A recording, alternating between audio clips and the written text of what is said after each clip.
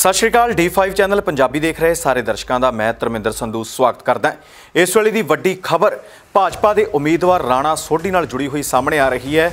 ਰਾਣਾ ਸੋਢੀ ਸਣੇ 7 ਵਿਅਕਤੀਆਂ ਦੇ ਖਿਲਾਫ ਮਾਮਲਾ ਦਰਜ ਕੀਤਾ ਗਿਆ ਹੈ। ਕਿ 20 ਫਰਵਰੀ ਨੂੰ ਪੰਜਾਬ ਦੇ ਵਿੱਚ ਵਿਧਾਨ ਸਭਾ ਚੋਣਾਂ ਹੋਈਆਂ ਸਨ। ਇਸੇ ਦੇ ਚੱਲਦੇ ਹੀ ਫਿਰੋਜ਼ਪੁਰ ਦੇ ਸਰਹੱਦੀ ਪਿੰਡ ਜੱਲੋਕੇ ਦੇ ਵਿੱਚ ਆਪ ਵਰਕਰ ਦੀ ਕੁੱਟਮਾਰ ਕੀਤੀ ਗਈ ਸੀ। ਆਪ ਵਰਕਰ ਸੁਰਜੀਤ ਸਿੰਘ ਦੀ ਸ਼ਿਕਾਇਤ ਦੇ ਉੱਤੇ ਹੀ ਇਹ ਕਾਰਵਾਈ ਕੀਤੀ ਗਈ ਹੈ। ਮਾਮਲਾ ਦਰਜ ਕੀਤਾ ਗਿਆ ਹੈ।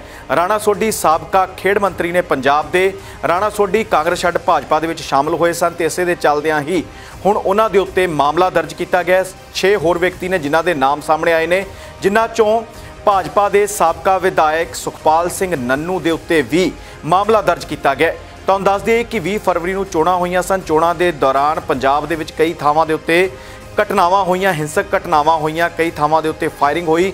ਇਸ ਦੇ ਚੱਲਦੇ ਹੀ ਜੱਲੋਕੇ 'ਚ ਆਪ ਵਰਕਰ ਸੁਰਜੀਤ ਸਿੰਘ ਦੇ ਉੱਤੇ ਹਮਲਾ ਕੀਤਾ ਗਿਆ ਸੀ, ਉਹਦੀ ਕੁੱਟਮਾਰ ਕੀਤੀ ਗਈ ਸੀ ਤੇ ਇਸੇ ਦੇ ਚੱਲਦਿਆਂ ਹੀ ਹੁਣ ਐਫ ਆਈ ਆਰ ਦਰਜ ਕੀਤੀ ਗਈ ਹੈ। ਸੁਰਜੀਤ ਸਿੰਘ ਦੀ ਸ਼ਿਕਾਇਤ ਦੇ ਉੱਤੇ ਰਾਣਾ ਸੋਢੀ ਦੇ ਉੱਤੇ ਐਫ ਆਈ ਆਰ ਦਰਜ ਹੋ ਗਈ ਹੈ। ਤੁਹਾਨੂੰ ਦੱਸ ਦੇਈਏ ਕਿ ਰਾਣਾ ਸੋਢੀ ਕਾਂਗਰਸ ਦਾ ਹਿੱਸਾ ਸਨ।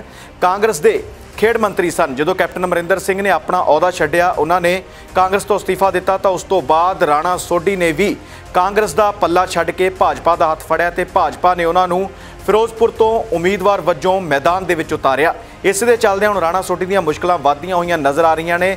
ਰਾਣਾ ਗੁਰਮੀਤ ਸਿੰਘ ਸੋਢੀ ਸਣੇ 7 ਵਿਅਕਤੀਆਂ ਦੇ ਉੱਤੇ ਮਾਮਲਾ ਦਰਜ ਕਰ ਲਿਆ ਗਿਆ ਹੈ। ਤੁਹਾਨੂੰ ਦੱਸ ਦਈਏ ਕਿ ਇਸ ਵੇਲੇ ਦੀ ਵੱਡੀ ਖਬਰ ਭਾਜਪਾ ਉਮੀਦਵਾਰ ਜੋ ਫਿਰੋਜ਼ਪੁਰ ਤੋਂ ਭਾਜਪਾ ਦੀ ਟਿਕਟ ਦੇ ਉੱਤੇ ਚੋਣ ਲੜ ਰਹੇ ਨੇ, ਰਾਣਾ ਗੁਰਮੀਤ ਸਿੰਘ ਸੋਢੀ।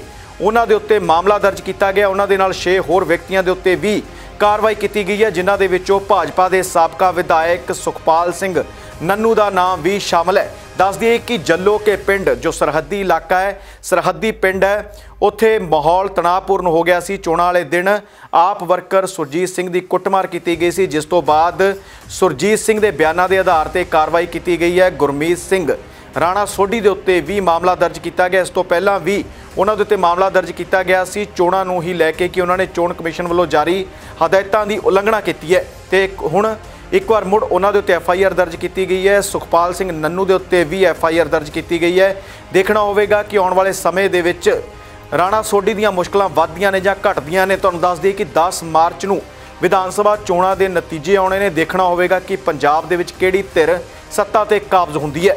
ਤੇ ਹੁਣ ਵੱਡੀ ਖਬਰ ਤੁਹਾਨੂੰ ਦੱਸ ਰਹੇ ਹਾਂ ਕਿ ਰਾਣਾ ਸੋਢੀ ਦੇ ਉੱਤੇ ਮਾਮਲਾ ਦਰਜ ਕੀਤਾ ਗਿਆ ਹੈ।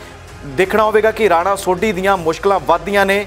ਜਾਂ ਘਟਦੀਆਂ ਨੇ। ਕੈਮਰਾਮੈਨ ਅਤੁਲ ਵਰਮਾ ਦੇ ਨਾਲ ਮੈਂ ਧਰਮਿੰਦਰ ਸੰਧੂ।